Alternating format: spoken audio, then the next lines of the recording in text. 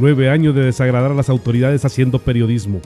Gracias a cada uno de nuestros seguidores que nos ha permitido estar como espectadores en primera fila de los acontecimientos en Jalapa. Tome en cuenta los pronósticos del tiempo porque podríamos tener un fin de semana bastante lluvioso.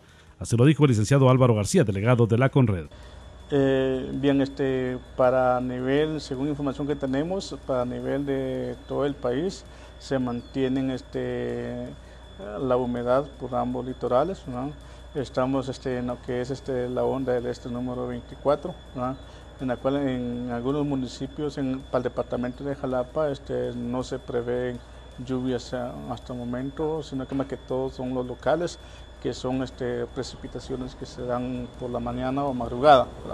En el caso del mes de septiembre próximo, regularmente tenemos lluvias. ¿Qué es lo que se ha pronosticado? Mire, eh, realmente este, este, las lluvias están, con eso del fenómeno del niño, están un poco alteradas debido al cambio climático. O sea que tendremos lluvias normales, no fuera lo normal.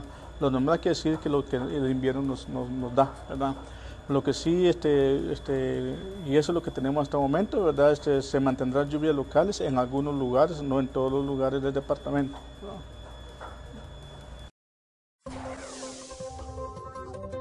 Para los T21, los Chapines y el mundo, notijalapa.net.